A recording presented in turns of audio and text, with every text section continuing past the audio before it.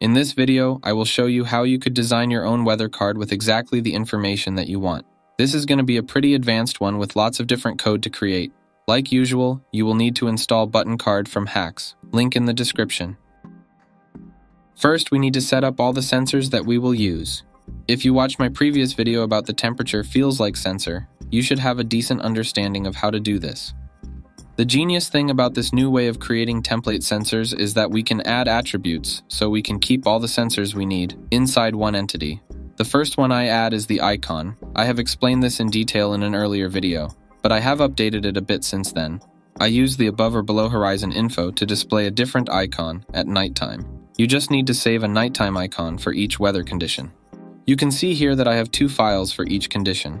One normal and one with underscore night at the end of the file name. Sometimes I use the same icon for both day and night. Moving on, let's start adding attributes. The first one is the temperature. This is a really simple one. Again, you could use the original weather integration, but adding all these sensors into one entity makes creating the weather card a lot easier later on. Next, I'm moving the feels like temperature I created in an earlier video into this new sensor. If you want detailed information about how I made this, you should watch that video. Then I'm adding the weather condition. This is just the state of the weather integration. Then I'm adding precipitation, or how much rain, snow, etc. For some reason this is placed under forecast in the weather integration, even though it is today's condition, so we need to grab the first item of the forecast array using the number 0. Next one is the wind direction. Not really necessary, but it's a cool thing to add. This converts the wind bearing to north, east, west, south, and so on. Just pause the video here to copy it, or get the full code on Gumroad from the link in the description. Next, I add the wind speed. This also converts the speed from kilometers per hour to meters per second. The last one I want to add is a description of the wind speed. I found these values on the yr.no website. It might look advanced, but all it does is checking if the wind speed is between two values. Then it outputs a text string if it is. Now save the file and go into Developer Tools in Home Assistant. Check the configuration and reload all YAML configuration. Search for Weather Info English under States and check that all attributes are working correctly. Alright, let's make the actual card. Start by creating a new button card card. Add the Weather Info English sensor as the entity.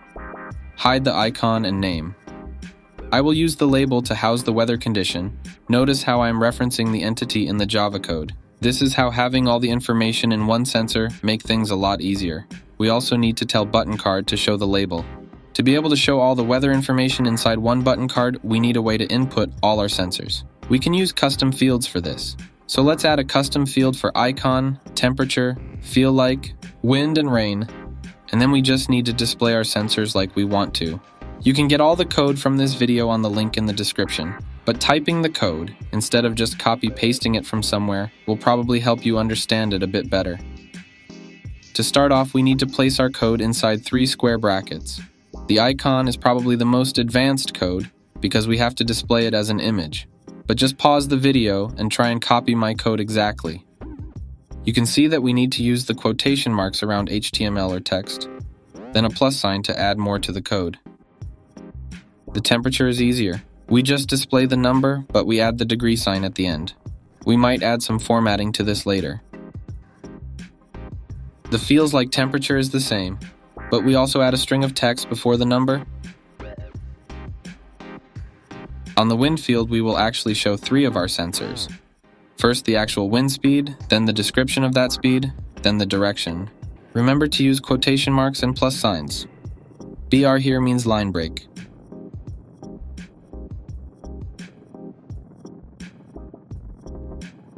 Lastly, we add the precipitation. This will be very similar to the last one, but only using two sensors. It looks like a mess now, but we can fix that by creating a grid. I use a website called grid.layoutit.com to help me generate the grid code. You can see that I create a 4x4 grid. Then I'm merging some of the cells and naming them after our custom fields.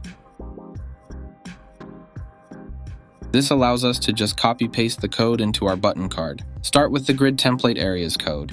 Add styles and grid styling. Then just paste the code from the website. Fix up the formatting a bit and it should work. Then we need to fix the scaling of the grid cells. For the columns, we use 1FR to make them all the same.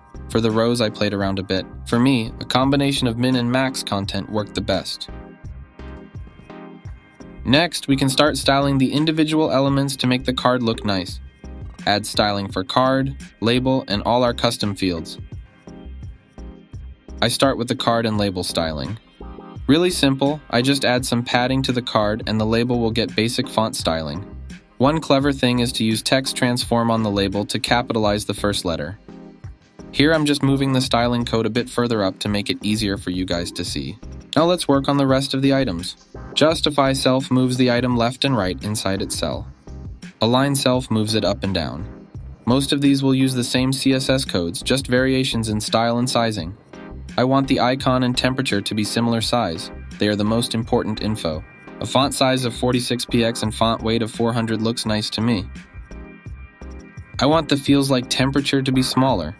I just copy the code from the temperature and adjust the font size. The wind and rain will look exactly the same. I just move the wind to the right in its cell and rain to the left. I also add a padding of 40 to both so there's a bit of a gap between them.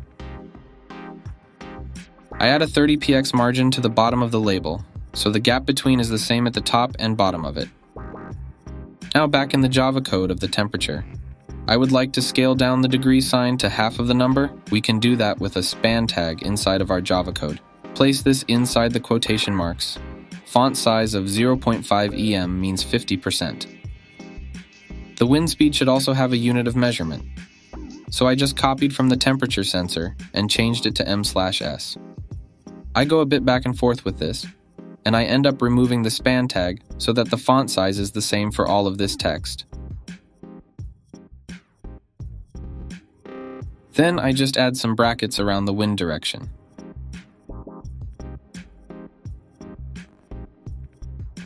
I also go back to the styling to adjust the line height a little.